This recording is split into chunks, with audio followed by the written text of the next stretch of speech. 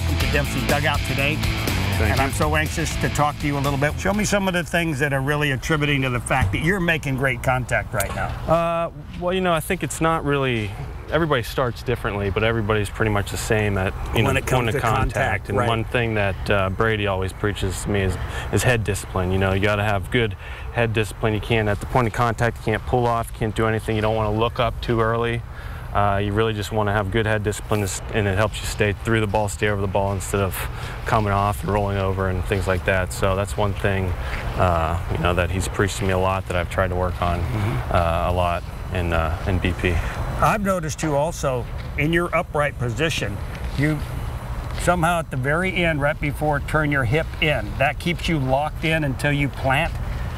Uh, yeah, I mean, it's just something that kind of happens, I guess, something that uh, that I'm uh, more comfortable doing, but uh, it helps me stay uh, instead of uh, coming down and bailing out and throwing my hip, you know, open. It just helps me kind of just like go to the ball and stay over it and through it.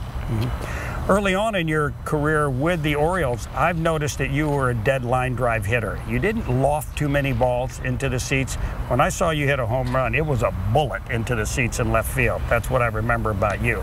But now it seems like when you go to right field and you hitting, you're getting a little bit more loft to uh, to your flight of, of, of home run balls and really your doubles at the same time too. Is there something that's changed about the way you're making contact that's done that?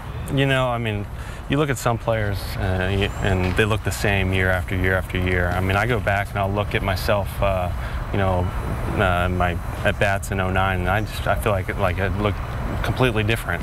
Uh, you know, so there's nothing that uh, I can really put my finger on, but you know, home runs are accidents, and those ones to right field are like, whoa, you know, they just happen. So as long as you're not trying to hit home runs, they'll they'll come. One thing I've kind of always wanted to ask you about, and it kind of stands out to me and everybody else who watches you play, is when you make contact, you get out of the batter's box so fast. For a right hand hitter, it's very unusual that you see guys that can get to first base as quick as you do.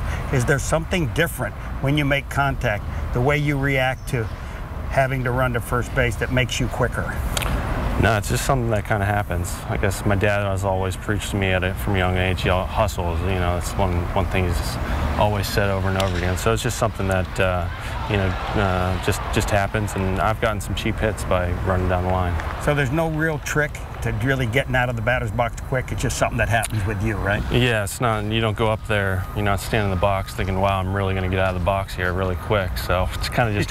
It's not a thought that yeah, comes not to really your a- mind, Rick. Yeah, it's not really something you think just about. It contact first yeah, and then worry just- about yeah, running, contact and then it just happens. So uh, I guess it depends on you know, where the pitch is, that sort of thing. Where you finish up, you know, you stay over the plate, you get a little uh, momentum going to first. So uh, it's just a plus for staying over the ball.